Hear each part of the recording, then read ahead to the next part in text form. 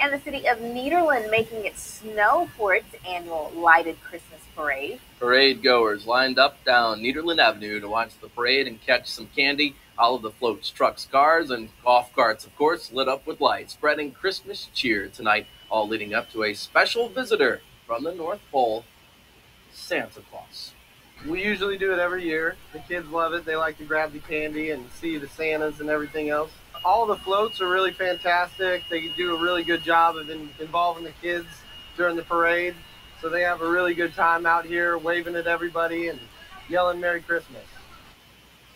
The city of Port Arthur is having its Christmas parade this Saturday at 6 p.m.